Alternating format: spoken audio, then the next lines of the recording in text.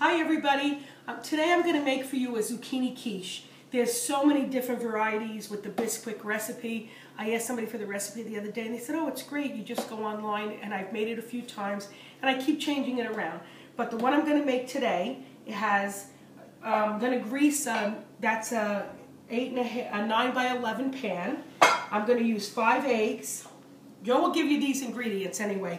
I'm going to use a half a cup of oil, one cup of Bisquick, a quarter cup of sour cream.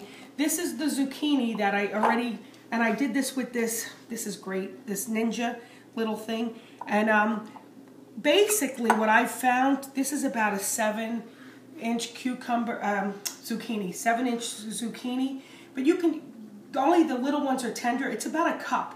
So it kind of gives you an idea if you buy four or five of these. If you have more zucchini than the four cups, it's not going to be a big difference. This already has three cups.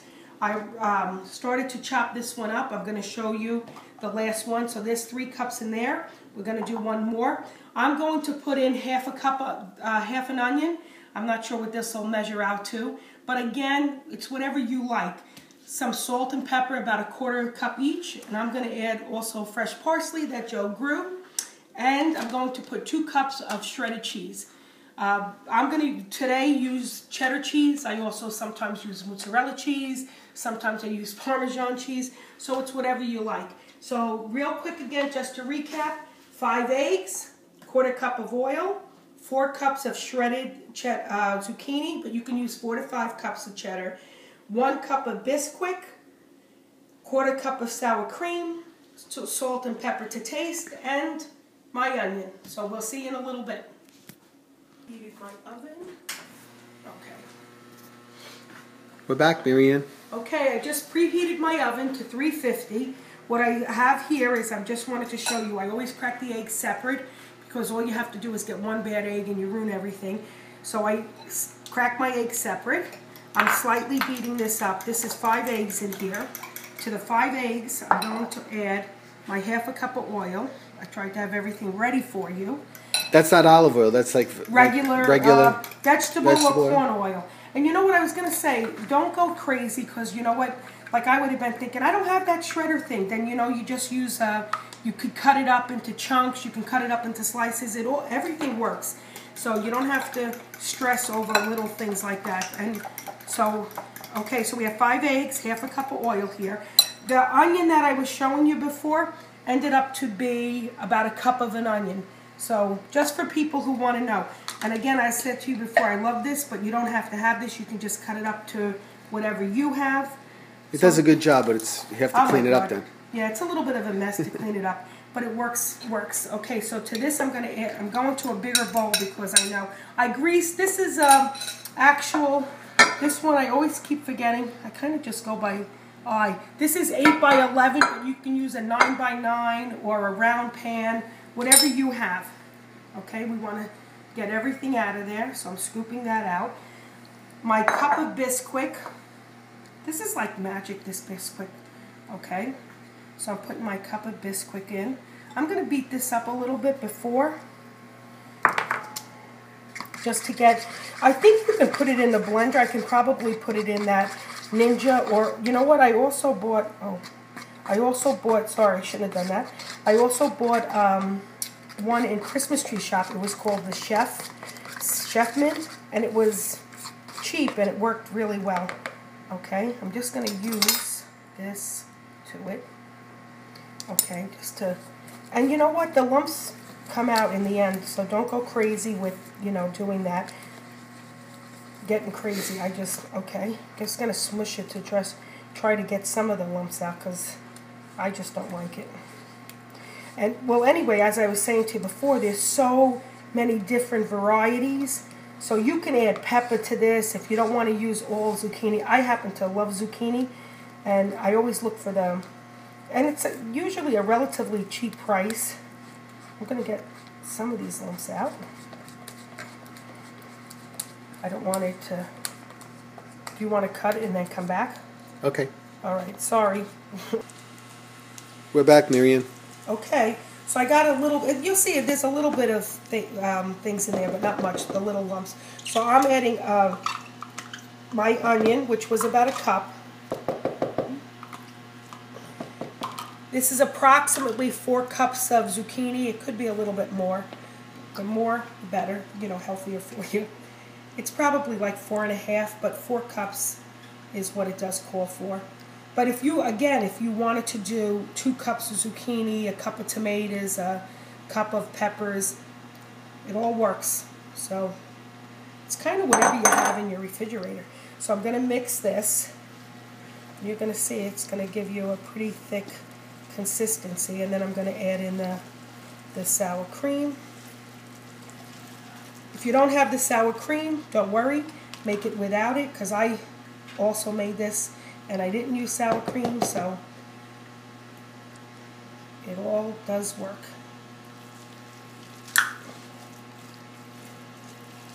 Looks good already, right?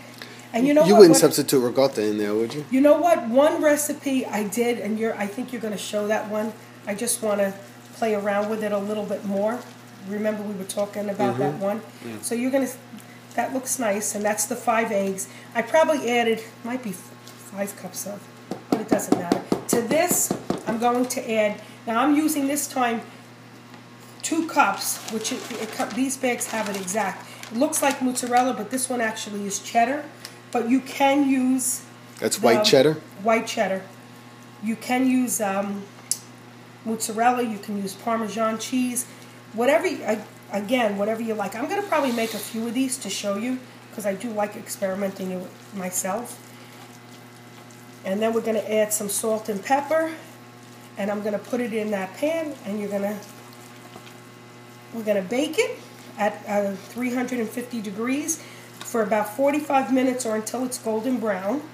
Can I just make a comment? Sure. I, I just wanted to say too. These, uh, you know, these are like uh, quiches. Actually, this is zucchini quiche, but it's not like that classic quiche. MaryAnn will make a spinach quiche for you one day, and it's very, very light.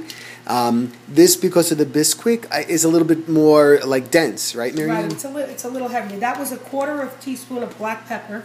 Looks like a lot, right? But when I mix it, and I'm going to put a quarter of a teaspoon of salt, and I'm going to mix it really well. And then I'm, i might add a little bit for my, because you know, from your garden, from the um, of the parsley, and I'll show you when I put it in the pan, so we don't. And, and this is like you could have this for a brunch, right? Oh, we've had it for lunch, and we've even what? had it for dinner. To tell this you the truth, this is really, really good, versatile because again, you can eat it for breakfast if you wanted to, or you can make it for a nice brunch.